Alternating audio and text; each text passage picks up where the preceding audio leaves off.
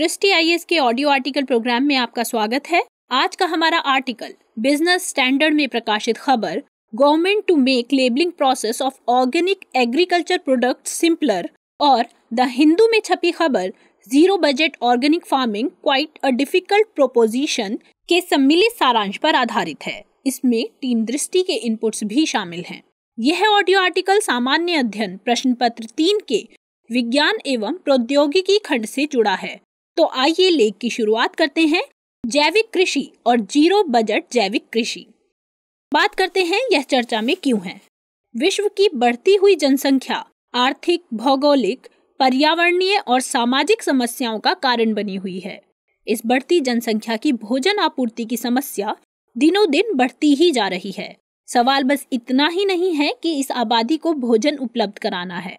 अहम सवाल तो यह है कि उपलब्ध भोजन कितना पौष्टिक और स्वस्थ है। मानसून की अनिश्चितता, कीटों के प्रभाव और मृदा की कम उर्वरक शक्ति, जहाँ उत्पादकता पर असर डाल रही है, वहीं पोषण का मसला भी एक बड़ा सवाल है। एक तरफ़ राष्ट्रीय परिवार स्वास्थ्य सर्वेक्षण N F H S four, दो हज़ार पंद्रह सोलह के अनुसार, भारत में पाँच साल से कम उम्र के पैतीस दशमलव सात प्रतिशत बच्चे अंडरवेट हैं। दूसरी तरफ़ ग्लोबल हंगर इंडेक्स में भारत 119 देशों की फहरिस्त में 103वें पायदान पर है। ऐसे में ज़ाहिर है कि ऐसे विकल्पों को खोजना ही होगा जो उत्पादकता और पोषण दोनों की महत्ता को समझते हुए समस्या का निदान करें। ऐसे ही एक विकल्प के रूप में जैविक कृषि को देखा जा रहा है। इसकी महत्ता को देखते हुए उत्तर पूर्व राज्यों में जैविक कृषि क्षेत्र को बढ़ाने के लिए एम सी डी आर नामक योजना लागू की गई है। इसी बीच निर्मला सीतारमण ने अपने बजट भाषण में भी ज़ीरो बजट जैविक खेती का ज़िक्र किया है। यहाँ ध्यान देने वाली बात यह है कि भारत जैसे कृषि प्रधान देश में जैविक कृषि के समक्ष चुनौतियों को नजरअंदाज करके इसका पूर्ण लाभ उठाना संभव नहीं है। ऐसे में यह जानना ज़रूरी है कि जैविक कृषि और ज़ीरो बजट जैविक कृषि या ZBNF क्या है। साथ ही जैविक कृषि के फ़ायदे, नुकसान और इसकी व्यवहारिकता को भी समझना होगा। आइए जानते हैं कि क्या है जैविक कृषि और ज़ीरो बजट जैविक कृषि। खेती की वह विधि जिसमें रासायनिक उर्वरकों या कीटनाशकों के बिना या कम प्रयोग से फ़सलों का उत्पादन किया जाता है, जैविक कृषि कहलाती है। इसका मुख्य उद्देश्य मिट्टी की उर्वरक शक्ति बनाते हुए फ़सलों का उत्पादन बढ़ाना है। वहीं ज़ीरो बजट जैविक कृषि खेती करने के तरीकों का एक समूह है, जिसमें बिना किसी प्रकार की लागत के कृषि के प्राकृतिक तरीकों को अपनाने की बात कही जाती है। इसे एफ़ यानी ज़ीरो बजट नेचुरल फ़ार्मिंग या एफ़ यानी ज़ीरो बजट ऑर्गेनिक फ़ार्मिंग कहा जाता है। एफ़ बाहर से किसी भी प्रकार के इनपुट के कृषि में इस्तेमाल का खंडन करता है। ज़ीरो बजट नेचुरल फ़ार्मिंग के जनक सुभाष पालेकर के अनुसार किसानों के कर्ज के दुष्चक्र से निजात का सरल तरीका जेड ही हो सकता है। उनकी चिंता है कि क्यों किसान सबके लिए अनाज उगाने के बावजूद अपने लिए बीजों की उगाई करने में सक्षम नहीं है। ऐसे में भारतीय किसानों के संबंध में जैविक कृषि की व्यवहारिकता को समझना होगा। जैविक कृषि के फ़ायदे और भारतीय किसानों की इसके प्रति समझ पर करते हैं चर्चा। हरित क्रांति ने जहाँ एक और कृषि उत्पादकता बढ़ाने में क्रांति का काम किया है, वहीं रसायन और कीटनाशकों के प्रयोग ने इंसान, मृदा और पर्यावरण पर हानिकारक प्रभाव डाला है। जैविक खेती से खेती के दो महत्वपूर्ण स्तंभ, किसान और मिट्टी, दोनों को ही लाभ पहुँचता है।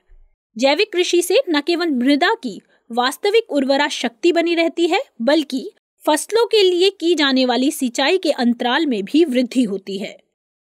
इसके अलावा मृदा की जल धारण क्षमता बढ़ती है और वाष्पीकरण की दर में कमी आती है। इस विधि से मृदा को ऐसे पोषक तत्व मिलते हैं जो मृदा में अघुलनशील होने के साथ साथ सूक्ष्म जीवों पर असरदार होते हैं, जिससे न केवल मृदा की उर्वरता बढ़ती है, बल्कि पर्यावरण संरक्षण में भी मदद मिलती है। इन सभी फायदों के अलावा भारतीय किसानों की एक बड़ी समस्या ऋणग्रस्तता से मुक्ति के विकल्प के रूप में जैविक कृषि और जेड एक रामबाण है। किंतु इन सभी लाभों के बावजूद भी भारतीय किसान न तो इस विधि का इस्तेमाल करने में पूरी तरह सक्षम है और न ही इसके मृदा और पर्यावरण संबंधी लाभों के प्रति जागरूक। हालाँकि कुछ चुनौतियाँ इस मार्ग में बाधा का काम कर रही हैं। तो चर्चा करते हैं जैविक कृषि के समक्ष चुनौतियों की। एक लंबे समय से सरकार सिंथेटिक उर्वरकों पर भारी सब्सिडी देती आ रही है। इसके मुकाबले जैविक कृषि के लिए यह सब्सिडी बहुत कम है। रासायनिक खेती किसानों को कर्ज और उर्वरक कंपनियों को मुनाफा देती है, जिसके चलते सरकारी संस्थागत समर्थन का अभाव है। किसानों को शुरुआती हानि की भरपाई के लिए न तो कोई सुरक्षा दी जाती है और न ही प्रोत्साहन। ऐसे में नया किसान जोखिम से बचता है और सिंथेटिक उर्वरक आधारित कृषि को एक अधिक सुरक्षित विकल्प के रूप में देखता है। इसके बाद भी जो किसान जैविक कृषि करते हैं, उनको जैविक उत्पाद की मंडियों की कमी से रूबरू होना पड़ता है। साथ ही साथ जैविक कृषि संबंधित प्रोसेसिंग सुविधाओं के अभाव का भी सामना करना पड़ता है। इन सब के अलावा जैविक उत्पादों के प्रमाणीकरण की प्रक्रिया से जुड़े मसले इसके मार्ग को अधिक कठिन बनाते हैं। हालाँकि सरकार ने बीते दिनों प्रमाणीकरण और लेबलिंग की प्रक्रिया को लचीला बनाने की बात कही है। लेकिन सरकार को जल्द से जल्द इसको सरल बनाना होगा ताकि जैविक कृषि और उससे जुड़े किसानों को प्रोत्साहित किया जा सके। कृषि अनुसंधान तंत्र का लचर होना भी जैविक कृषि के सामने एक बड़ी चुनौती है। हालाँकि हाल ही में जैविक कृषि से नई तकनीकों को जोड़ने को लेकर सुभाष पालेकर ने नकारात्मक पहलुओं को उजागर किया है। उनका कहना है कि जैविक कृषि में अधिक तकनीकी प्रयोग के चलते यह ग्रीन हाउस गैसों के उत्सर्जन का बड़ा कारण बनती जा रही है। इसके लिए उन्होंने जैविक कृषि के बजाय प्राकृतिक कृषि यानी नेचुरल फ़ार्मिंग पर ज़ोर दिया है। इससे इतर ऋण से जूझ रहे किसानों के लिए जैविक कृषि की प्रासंगिकता को इससे होने वाले आर्थिक लाभों से जोड़कर देखना भी बेहद ज़रूरी है। आइए डालते हैं एक नज़र जैविक कृषि के आर्थिक महत्व और इस क्षेत्र से जुड़ी कुछ मिसालों पर। उच्च उत्पादन लागत, ऋण के लिए उच्च ब्याज दर, फ़सलों की बढ़ती घटती बाज़ार कीमतों, मानसून की अनिश्चितता और निजी बीजों के कारण भारतीय किसान तेज़ी से कर्ज के दुष्चक्र में फंसते जा रहे हैं। ऋण भारत में सभी आकार के किसानों के लिए एक समस्या है। ऐसी परिस्थितियों में ज़ीरो बजट जैविक खेती ऋणों पर निर्भरता को खत्म करने और उत्पादन लागत में भारी कटौती करने का मार्ग दिखाती है।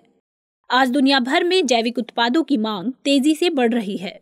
लेकिन कई बार देखा गया है कि बहुत अधिक मांग होने के बावजूद आपूर्ति करने में हम सक्षम नहीं हो पाते। उदाहरण के तौर पर सिक्किम की टैम चाय। टैम चाय की विश्व भर में भारी मांग है, लेकिन उसकी आपूर्ति उसकी मांग से कम है। ऐसे में हमें सोचना ही होगा कि कम से कम हम उस क्षेत्र में आपूर्ति कर पाए जहाँ आर्थिक सुरक्षा सुनिश्चित है। ऐसे समय में भारत जैसे कृषि प्रधान देश में जैविक कृषि को प्रोत्साहन देकर किसानों को आर्थिक रूप से सशक्त किया जा सकता है। 2022 तक किसानों की आय को दोगुना करने के लक्ष्यों की प्राप्ति के लिए ज़ीरो बजट जैविक खेती कारगर साबित हो सकती है। इसमें फ़सल की कीमतों में कमी आने का खतरा भी बहुत कम होता है। इससे न केवल किसानों में आर्थिक सुरक्षा की भावना प्रबल होती है, बल्कि अधिक से अधिक युवाओं के कृषि कार्यों में संलग्न होने की संभावना भी बढ़ती है। इसी क्षेत्र की मिसालों की बात करें तो जनवरी 2016 में सिक्किम भारत का पहला 100 प्रतिशत जैविक राज्य बना। आज सिक्किम में खेती सिंथेटिक उर्वरकों और कीटनाशकों के उपयोग के बिना की जाती है, जिससे सुरक्षित भोजन के विकल्प उपलब्ध होते हैं और कृषि पर्यावरण संरक्षण में मददगार साबित होती है। बीते समय में आंध्र प्रदेश ने जैविक कृषि को बढ़ावा देने में अग्रणी भूमिका निभाई है। आंध्र प्रदेश के 6 मिलियन कृषक परिवारों को एक अभूतपूर्व वैश्विक पहल के हिस्से के रूप में 2022 से 2024 तक प्राकृतिक खेती अपनाने के लिए प्रोत्साहित करने का प्रयास चल रहा है। वहीं हाल ही में केरल के सूरज नामक छात्र ने जेड का उपयोग पर्यावरण के अनुरूप कर प्रोजेक्ट अर्थ वॉर्म की शुरुआत की, जिसके तहत उन्होंने जैविक किसानों के साथ मिलकर चावल, कंद और अन्य फ़सलों की सौ से अधिक किस्मों का संरक्षण किया। साथ ही उन्होंने पौधों को पोटेशियम और फास्फोरस की आपूर्ति के लिए रासायनिक उर्वरकों का उपयोग करने के बजाय सूक्ष्म जीवों को मिट्टी में डालकर अच्छी उपज उगाई। इस उपलब्धि के लिए उन्हें केरल में सर्वश्रेष्ठ किसान छात्र के लिए कृषक ज्योति अवार्ड से नवाजा गया। ऐसे बहुत से उदाहरण हमारे समाज में हैं। किंतु सरकार को आवश्यकता है कि ऐसी मिसालों को पहचान कर उन्हें समाज के सामने लाएँ, ताकि किसान रासायनिक तकनीक से इतर होकर नए प्रयोगों को अपनाने के लिए सदैव तैयार रहे। ऐसे में देखना होगा कि क्या हो आगे की राह। अन्न का मानव सभ्यता की शुरुआत से ही नाता है। जैसे जैसे संस्कृति पुष्ट होती रही है वैसे वैसे अन्न भोजन पोषण में भी कई स्तरों पर बेहतर होते जाने की कवायद चलती रही है। जैविक कृषि या जेड पोषण और स्वास्थ्य दोनों का संतुलित रूप उपलब्ध कराती है, लेकिन सरकार पर हमेशा ही इसके साथ सौतेले व्यवहार का आरोप लगता रहा है। ऐसे में सरकार को चाहिए कि वह रासायनिक कृषि क्षेत्र से अवांछित सब्सिडी को हटाए और देश भर के किसानों को जैविक खेती के तरीकों से अवगत कराते हुए उनकी आजीविका को बढ़ाए। सरकार ने जैविक खेती को विकसित होने का समान अवसर रासायनिक कृषि के मुकाबले बहुत कम दिया है। इसी कारण नेशनल ऑर्गेनिक फ़ार्मिंग प्रोजेक्ट्स, परंपरागत कृषि विकास योजना और उत्तर पूर्वी क्षेत्र के लिए mission organic value chain development यानी M O V C D, N E R बहुत कम ज़मीन को कवर करते हैं। जैविक खेती के तहत तेईस दशमलव शून्य दो मिलियन हेक्टेयर क्षेत्र है, जो भारत में कुल खेती योग्य भूमि यानी एक सौ इक्यासी दशमलव नौ पाँच मिलियन हेक्टेयर का मात्र एक दशमलव दो सात प्रतिशत है। इस क्षेत्र को अधिक से अधिक जैविक खेती के तहत लाना होगा, जिसके लिए युवाओं को कृषि में अपने रोज़गार खोजने होंगे। कृषि विशेषज्ञों की प्रमुख चिंताओं में से एक यह है कि युवा पीढ़ी खेती को लाभहीन व्यवसाय मानती है, जो बिना किसी प्रतिफल के कई महीनों की मेहनत और निवेश की मांग करती है। इसलिए सरकार को ऐसी नीतियों का निर्माण करना होगा जो यह विश्वास दिलाए कि कृषि भी एक आशाजनक व्यवसाय हो सकता है।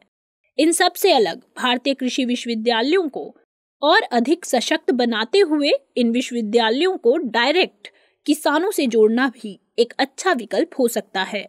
किसान मेलों का आयोजन किसान हाट आदि ने इसमें महत्वपूर्ण भूमिका निभाई है। और सबसे महत्वपूर्ण तो यह है कि अनुच्छेद 48, 48 क और अपने मौलिक कर्तव्यों का पालन करते हुए पर्यावरण संरक्षण और संवर्धन को ध्यान में रखकर ही हमें कृषि संबंधित नीति निर्माण, नीति क्रियान्वयन और विकल्पों को चुनना होगा। तो आइए नोट करते हैं आज का सवाल। तेज़ी से बढ़ती जनसंख्या, भोजन आपूर्ति और जलवायु परिवर्तन को ध्यान में रखते हुए जैविक कृषि और ZBNF को एक अच्छे विकल्प के रूप में देखा जा सकता है। जैविक कृषि और ZBNF को स्पष्ट करते हुए कथन का मूल्यांकन कीजिए।